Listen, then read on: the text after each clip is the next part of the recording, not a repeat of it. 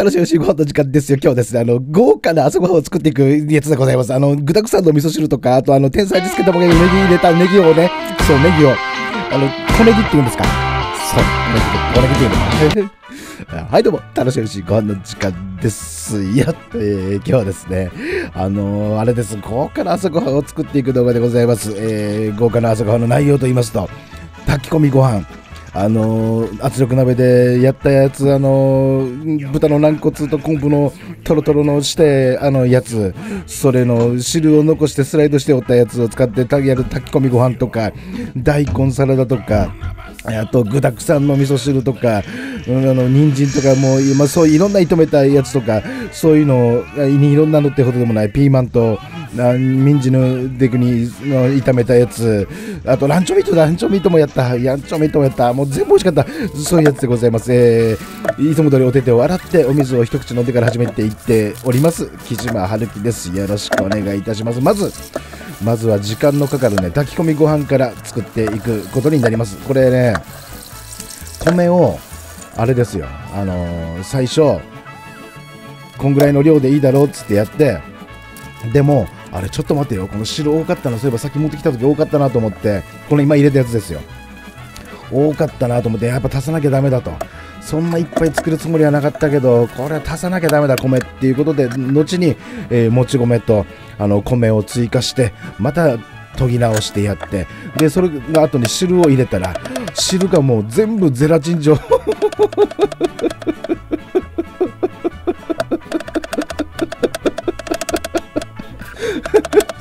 これでちょっと自分でもびっくりしたんですよ。自分でもびっくりしちゃったらあのー溶か冷凍に入れてたからね。全部溶けた溶かしたと思ったんですけどあのエキスが濃かったんでしょうね。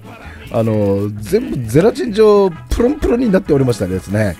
あの正確な水の量というかその液体の量というかこれ要は染み込んでいってその上米の上になどんぐらいになってるかとかでさ大体ど液が足りてるか汁が足りてるか少ないか多いのかとかコメントに対してどうなのかっていうのがあの測るわけじゃないですか。でも上に全部乗っかってるもんだから。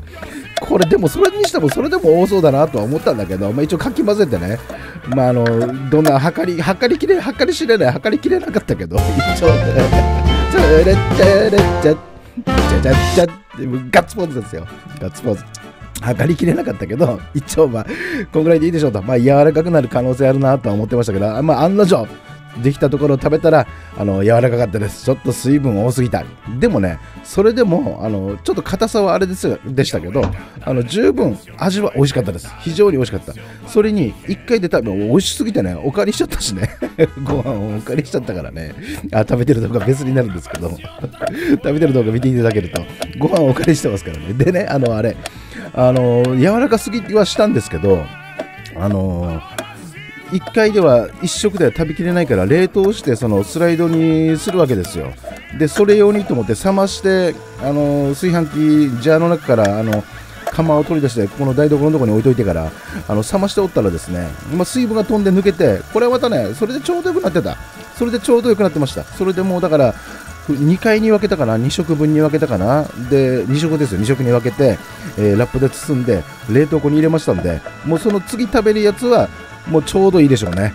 あのー、水分飛んでましたから、また次回がそれ、あ寝かしたのがまた楽しみだということになります。えー、それにあん中に入れたのは、とろとろのになった、その、豚の軟骨の圧力鍋で煮たやつ炊いたやつでしょ。でからそれに昆布も入ってたはずでしょ。で汁でしょ。で人参としめじしめじを追加で足しましたね。しめじを追加で足して。で今あのセットして炊飯で頑張れ頑張れやつで炊いてもらってるわけですよ。でさっきやってたのがブロッコリーを切ったね。ブロッコリーを切っていた。でそのブロッコリーはそういつも言いますけどあの僕はブロッコリーはねあのしっかりめに洗いますからね。しっかりめに洗ってであの葉っぱっていうか食べるところ若干ねあの黄色くもうなってきてたけどねあの緑のところにあのちょんちょこちょんちょこちょんちょこちょんちょこ黄色いのが出てきててあれで、まあ、早く食べないと買ってきてからもう23日とえば美味しさもうちょっと多分あちょっと今日のこれで入れたらもうまた贅沢になりすぎじゃないのとか思ったりししたけどねあのまあいいでしょうとブロッコリーも大好きですから今日のこの豪華な朝ごはんが豪華すぎることになってそれでいこうということでえー、ブロッコリー茹でて、えー、もちろん芯までねあのブランベルナスさんで教えていただきましたから芯まであのしっかり美味しくいただきますそして茹でておるんだけども、えー、となんだっけそのその芯のところの皮のところという芯の皮というかそれのあの削るというか剥くののあの厚みが足りなさすぎて食べてる動画見ていただければ分かるんですけどガシガシで怪しまったもうちょっと厚く剥いとかんとこの外側の皮のところは食べれんわって言ってあの食べれなくなっちゃったところもありました。もうこれもまた勉強。これもまた勉強です。そして大根サラダをさっき作りましたね。大根サラダ。あの大根サラダにはねあのなんだ塩コショウをねあのちょっとだけよ。塩コショウもちょっとだけ。ちょっとだけかけてからあのシーチキン。ツナですね。ツナを上からもう一缶丸ごとね油ね捨てなくてもいいかなと思ったんだけど一応ちょっとだけ油切ってでその後そのシーチキン缶から出して、えー、全部丸ごとポンってやってでこれ大根何やってるかっていうとあのー、味噌汁を作ろうと思っててで味噌汁作るんだけどこう大根全部味噌汁に行ったらあまりにもあれでちょっともったいないなというか行き過ぎてるなやりすぎてるなと思ってですねこれ少しのあれはあれにしようと。あのなんだっけ？あのこの上に置いてる上の方に今待っているあのピーマンと人参ですよ。あれなんかと一緒に炒める分にしようと思って。ででもね炒めるっつってもいきなり大根はねちょっとなかなか手強いですから。だったら味噌汁作るこのこれと一緒に一回煮てから。そうそうそうそうそうそう。もうこうなりますよ。一緒に煮てから。であのそうしようと。あの炒めるチームに入ってもらおうということで。ただからこれ今一緒にねあのしばらくあれですよ米が炊けるのに合わせて米が炊けてからあの他のいろんなの作っていくんですけれども、まあ、その前にこの大根に火通しておかないと。米が炊けた段階でまた大根やりだしたらまた時間がかかっていつまでたってもご飯食べれないからもう先に大根だけはこうやって火通してやっといてそうちょっと待ってくださいね。そういうことでそういうことですよ。こうやってやってあの一回沸騰させてそのまましといてほらね大根火通ってるでしょ。もうこれもうご飯炊けたってことですよ。ご飯が炊けた。この時にご飯が炊けたのよ。ご飯が炊けたからよしじゃあこの続きやりましょうということではい、はい、これこれですこれです。大根を炒めるあのチームに何本か何本かじゃ何枚か取ってでこれは煮干しですね煮干し。これ煮干しねあのだしうんぬんちゅうのもありますけどね具です。木島にとっては具です。で本だし何かで買ってきたからあのねあの煮干しも入ってるしあの味噌もだし入りの味噌だから別に本だし入れなくてもいいんですけどいいんですけどね本当は。あの、何でしたっけ？そのなんかで本出し買ってきたもんですからほったらかして置いといてもしょうがないからちょっとずつ使っていこう味噌汁でとかいろんなのでということで本出しも入れました。そしてなんだあと味噌汁の味噌汁の具。味噌汁の具元。元あれをね、えー、もう残ってるの全部入れてで味噌入れてこれ混ぜますよ。混ぜます。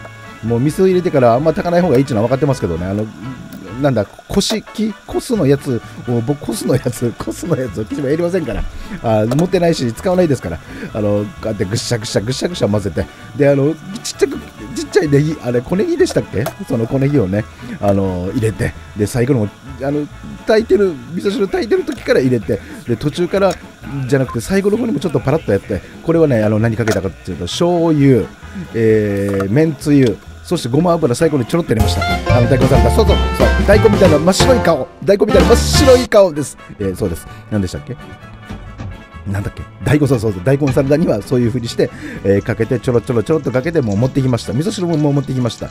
コンロがね一口なもんですから味噌汁とこの炒め物一緒にやったりとか温めたままとか温め直しとか鍋置いといてとかができないわけですよ。キッチンも狭いし。でこれ僕は大好きなんだな。このね何でしたっけ？このからしれんこん。僕はからしれんこん大好きだ。これはあれですよ。あの銀座有楽町のあっちの方のあの熊本館ですよ。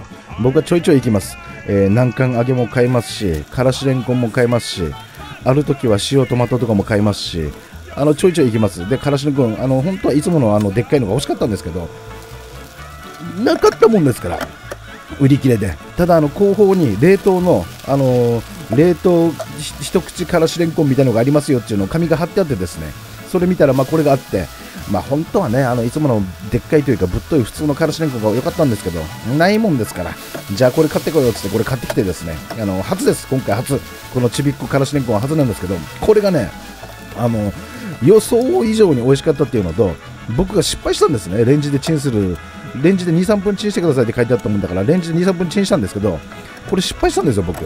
あの長かったんでしょうね、ちょっとね、カリカリになってて、一部。全体じゃなくて一部分がねカリカリになっておってそれがね逆にねすごい美味しかったの。びっくりした。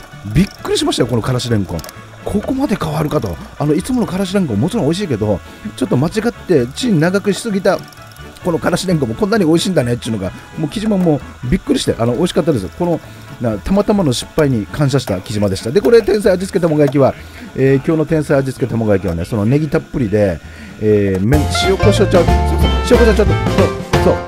ああ若い若い。えー、なんだっけ？塩コショウちょっととえー、めんつゆと醤油。でネギはたっぷり。もう久しぶりにねこのネギ入りの天才味付け卵焼き作ったけどやっぱ美味しいな。卵ってすごいな。そのネギとかさ明太子とかもう何でやっても美味しいですけどね。もうこれほんと非常に美味しい。もういやもう出来上がりだから。もう本当に美味しかったですよ。あのすべてがねちょっと今日のは全部が全部強くてご飯一杯じゃねあの足りなかった。お借りしました、えー、からしれんこんでしょ？一口の。であと人参いやいや炒めたあれやつでしょ？あのそれでしょ？ランチョンミートでしょ？そうこれこれこれこれ忘れててねもう一回ね出来上がりっつってで合わせてたこれもだったっつって出してきました。いやこれね非常にここの時点ではあいやしっかり柔らかいわと思ったけど食べてみたらねさパラップ 食べてみたらあのすごい美味しかったです。あー今またでで出てきたもん唾液が。こう味はもう最高であの豚肉軟骨のとろとろ具合といったらね結構な量この炊き込みご飯用にスライドしてたんだね。よくやった木島君と。たこの豚肉軟骨炊いた時の木島よくやったと。